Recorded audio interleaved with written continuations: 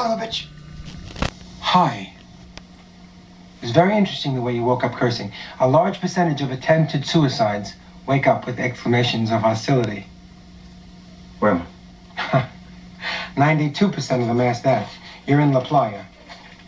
the nut house? That's a cruel label. We prefer booby hedge. You a doctor? Oh, no. Me? No. I'm a patient. Marlon Joseph Borunki, paranoid schizophrenic, deep feelings of inferiority alternating with delusions of grandeur. Hi. Hi. Hi. Uh, Sonny Lawson. Real estate. Uh-huh. Wait a minute. Didn't you used to be on television selling land somewhere? Yes, I used to watch you. Uh, Lake Crest Estates, right? You didn't buy a lot there, did you? I swear to God there was a lake there. I swear to God there was a lake there. I, I, I don't buy land from television. I'm crazy, but uh, I'm not that crazy, you know? A real TV star. How'd I get here? I can't get over it. Sonny Lawson. what? How'd I get here? Oh, uh, they transferred you here last night from the hospital. You tried to kill yourself.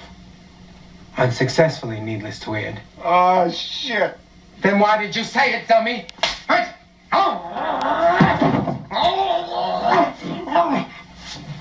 I'm writing a book on insanity.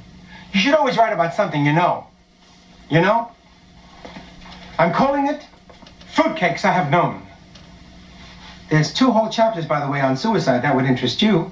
Did you know, for instance, that 50% of all female suicides have bleached hair and a hysterectomy scar? you blue? Are you depressed? Yeah. Oh. I thought I'd wake up dead.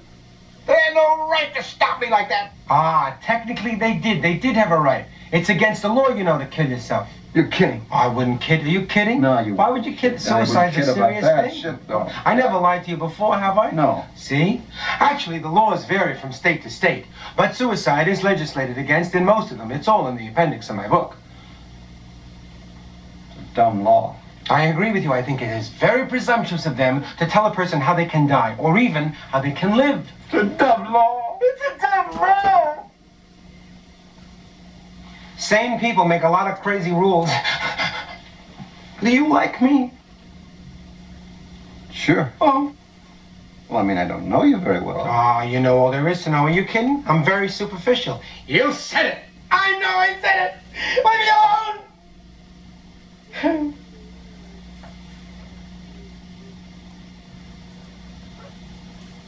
Are you rooming here with me?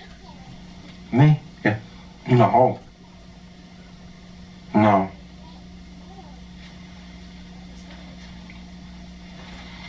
Actually, I'm in the south wing. Ta-da! The south wing. That's where they keep the dangerous ones. Are you dangerous? No. Yes?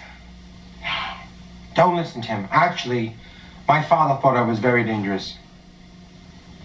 I strangled him. You mean like that? Oh, no, more like that.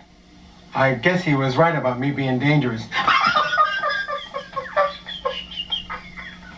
yeah, a lot of doctors have different theories about why I did it. Mother complex, father complex, feelings of inferiority, suppressed rage. But I, and I alone, know the reason that I did it.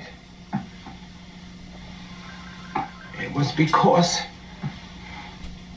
he was so Polish. Polish? When I was a kid, I was tormented with Polish jokes. Oh, you know. Who was Poland's Man of the Year? Nobody. I didn't sing the Polish national anthem. You don't sing it. You fought it. How do you tell Polak's identification by the shit in his wallet?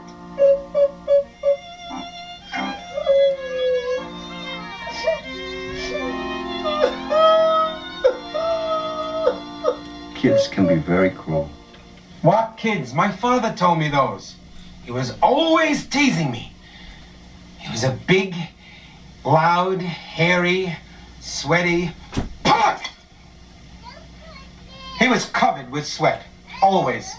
The only man that I know who could sweat while he was swimming. And I could never have friends over because he challenged them to a nose picking contest, and he always won.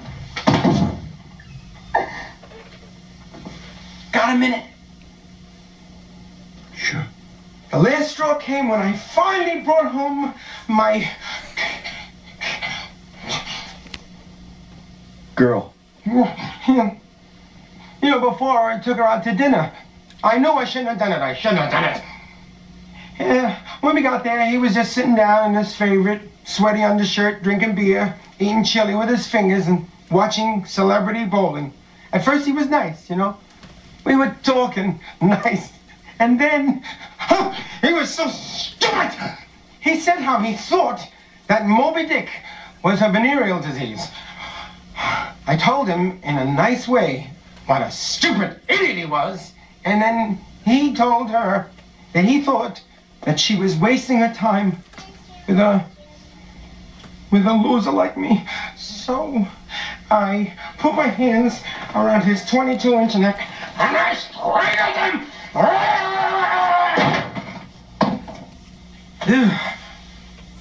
We never went out to dinner, needless to say, because I strangled him.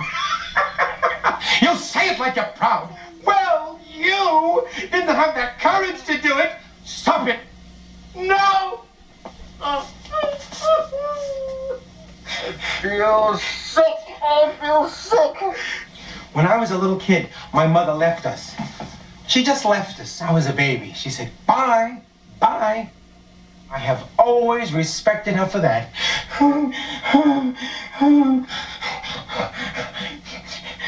Do you think this country will ever switch to the metric system?